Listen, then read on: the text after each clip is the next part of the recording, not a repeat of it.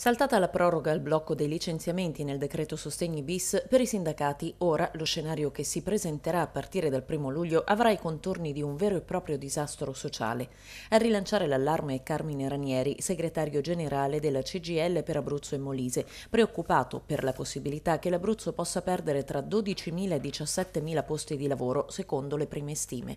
Passato il picco dell'emergenza sanitaria, ora dunque potrebbe aprirsi una nuova piaga sociale ed economica, non meno preoccupante della prima. Secondo le stime di Banca Italia e Ministero del Lavoro, in Italia si potrebbero perdere oltre 570 mila posti di lavoro con la fine del blocco dei licenziamenti. In Abruzzo la situazione sarebbe ancora peggiore se noi consideriamo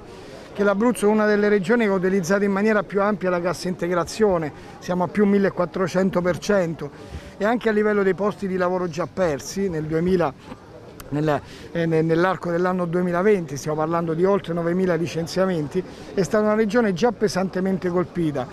motivo per cui noi prevediamo che in Abruzzo ci potrebbe essere un numero di licenziamenti superiore alle 12.000 unità. Questo, ripeto, rispetto alle 9.000